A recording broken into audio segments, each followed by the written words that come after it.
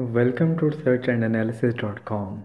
In today's video, I will tell you how can you export SPSS output to Word, PDF, HTML or PowerPoint format.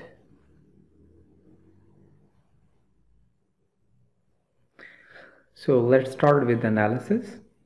We can go just simply do some basic analysis. Let's do descriptive statistics which is one of my favorite. Okay.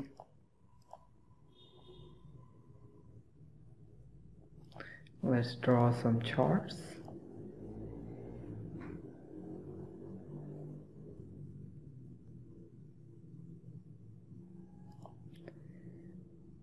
And this is our output file again so do some do another analysis let's do correlations.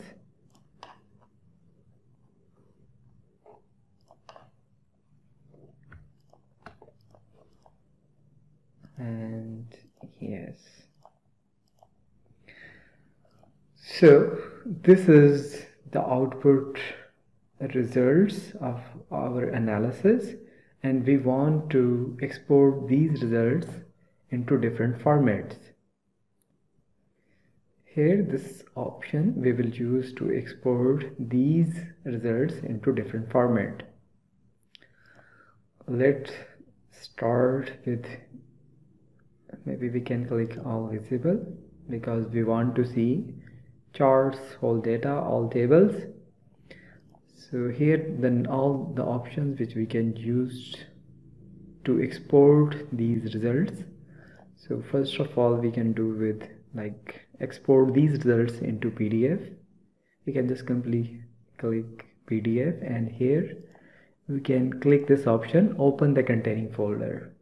So uh, when we will just click OK so this particular folder will be open. And from here you can change the uh, destination of this exporting output so click ok. Yes replace.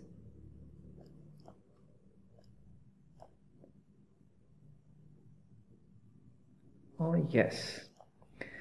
So here these uh, those results have been exported here. We can just click and reconfirm. And yes we have all the results in pdf format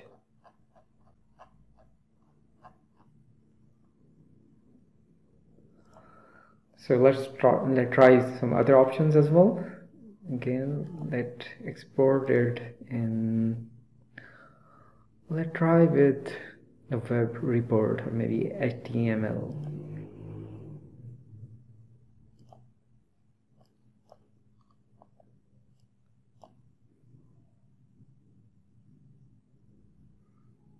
and yes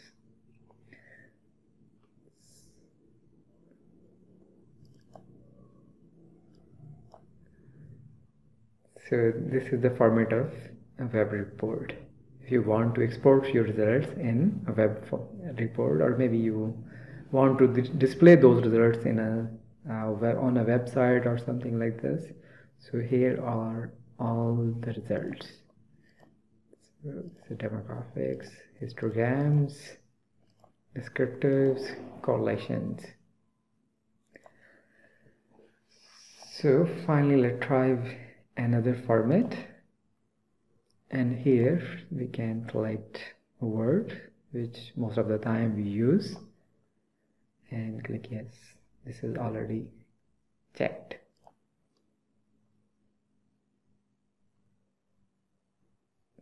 Yes